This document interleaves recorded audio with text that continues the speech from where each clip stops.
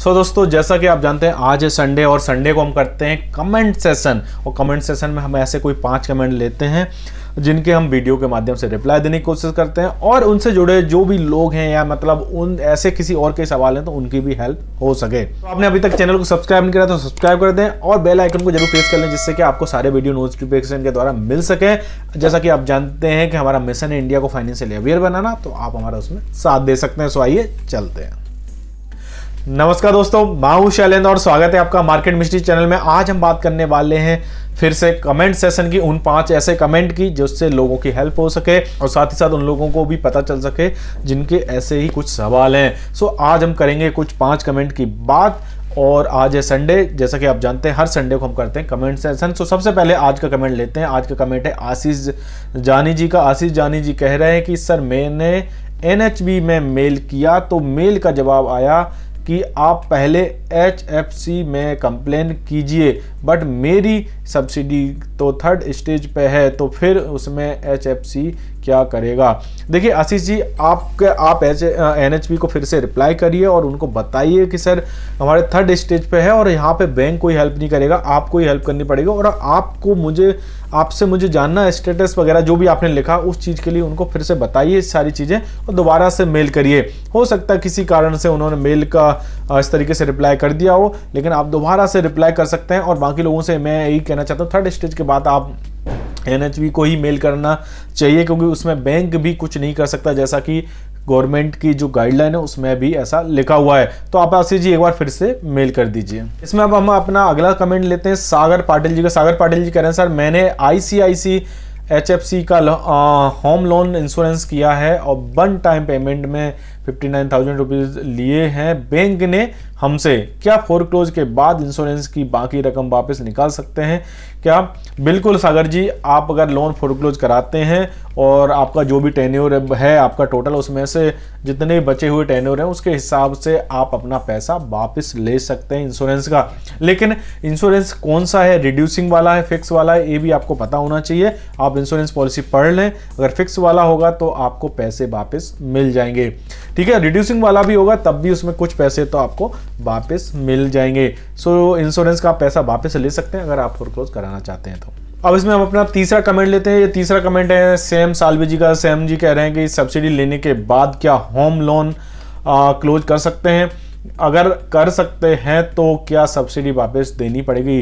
देखिए सब्सिडी देने के बाद आ, मतलब लेने के बाद आपको लोन क्लोज करना चाहते हैं तो कर सकते हैं। इसमें सब्सिडी वापस जाने की कोई भी बात नहीं है। देखिए जैसा मैं आपको बता रहा था पहले भी कि सब्सिडी आपके अकाउंट में आ जाएगी और उसके बाद सब्सिडी का अमाउंट माइनस होने के बाद ही आपको आउटस्टैंडिंग अमाउंट दिखेगा आपके अकाउंट में। यानी आपका होम लोन अकाउंट होगा, उसमें आपका आउटस्टैंडिंग जो दिखेगा, वो सब्सिडी माइनस होने के बाद दिखेगा।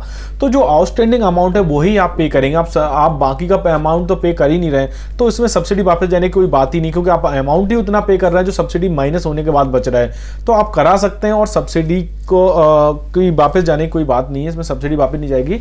आप अपना होम लोन क्लोज करा सकते हैं। इसमें हम अपना लेते हैं, चौथा कमेंट है चौथा कमेंट है अजीत कुमार पाठक जी का ये कह रहे हैं sir P M A Y subsidy के लिए मिनिमम लोन टेन्यूर कितना होना चाहिए?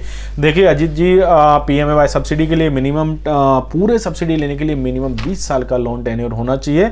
उससे कम होएगा तो सब्सिडी आपकी कम आएगी उससे ज़्यादा कितना भी रहे लेकिन मिनिमम आपका बीस साल का होना चाहिए। इसके लिए मैं अलग से कई वीडियो बना चुका हूँ कई वीडियो में मैं पहले बोल भी चुका हूँ। सो so, बाकी सब लोग भी अगर आप होम लोन ले रहे हैं सब्सिडी की वजह से ले रहे हैं तो मिनिमम 20 साल का टेन्योर ज़रूर रखें। अब आज का लेते हैं पांचवा कमेंट है आखिरी कमेंट और ये है रतन स्टूडियो जो। ये कह रहे हैं कि, सर, क्या प्रॉपर्टी इंश्योरेंस ज़रूरी है लोन ले रखा है तो? या better is home loan insurance because अगर इंसान है तो सब कुछ है। देखिए, रतन जी, यहाँ पे देखिए प्रॉपर्टी इंश्योरेंस आप अपनी ज़रूरत के हिसाब से लेते हैं। ज़रूरत के हिसाब से मतलब आप ऐसी जगह रहते हैं जहाँ आपकी प्रॉपर्टी को नुकसान होने के खतरे ज़्यादा हैं। आपका प्रॉपर्टी आप बनवाने में पैसा ज़्यादा खर्च होता है, लेकिन वहाँ पे अगर कोई नुकसान हो गया तो फिर पैसे ज़्यादा लगते हैं अगर आपको उसको रिपेयर करना कुछ भी।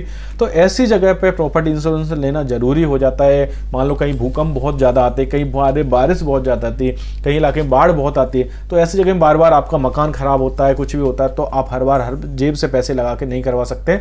इसलिए ज़रूरी हो जाता है लेकिन ऐसे मैंडेटरी नहीं है कि आपको लेना है लेना है तो लो, नहीं लेना है तो कोई भी बात नहीं, है ना? उसके लिए प्रॉपर्टी इंश्योरेंस लेते हैं, जो मैंने आपको बताया था।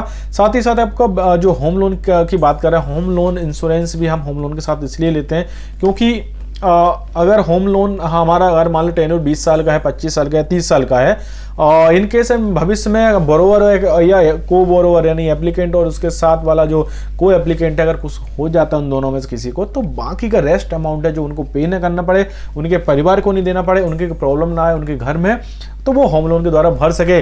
लेकिन हालाँकि मैंने ये भी बताया था आपको हाल ही में कि होम लोन लेना अनिवार्य नहीं है। आप चाहो तो होम लोन का इंश्योरेंस भी ले नहीं आ, नहीं लेना चाहते तो नहीं ले सकते ऐसा मैंडेटरी नहीं है होम लोन इंश्योरेंस तो ओवरऑल अगर देखें तो आज ये थे पाँच कमेंट जिसमें हमने अलग अलग कुछ चीज़ें जानी इंश्योरेंस के बारे में भी जाना और बाकी अलग अलग सवाल थे कुछ नए सवाल थे इस बार। तो थोड़ा अच्छा लगा बताने में हर बार कुछ कॉमन सवाल नहीं थे। तो हो सकता कि ये सवाल सुन के अगर आपका भी ऐसे कुछ सवाल है तो आपको भी जवाब मिल जाएगा। सो उम्मीद करता हूँ आज का ये कमेंट सेशन आपको अच्छा लगा होगा। अगर अच्छा लगा तो अपने दोस्तों, परिजनों में शेयर करें और उन लोगों को भी शेयर करें जो होम लोन लेना चाहते हैं सब्सिडी लेना चाहते हैं इंश्योरेंस लेना चाहते हैं, जिससे उनकी भी हेल्प हो सके। बैंकिंग और फाइनेंस की जानकारी के लिए हमारे चैनल को सब्सक्राइब करें। सो मिलते हैं नेक्स्ट वीडियो में। तब तक के लिए नमस्कार। जय हिंद।